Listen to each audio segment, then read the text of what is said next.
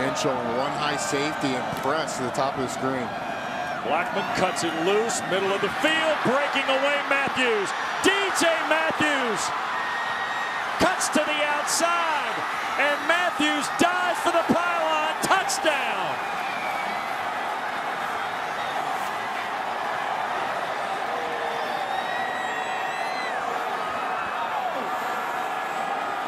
The big question here is on the back end. Did he get in the end zone when he dove? He did hit the pylon with the ball. Did anything come down before that happened? No, the first thing to hit is the, the ball on the pylon.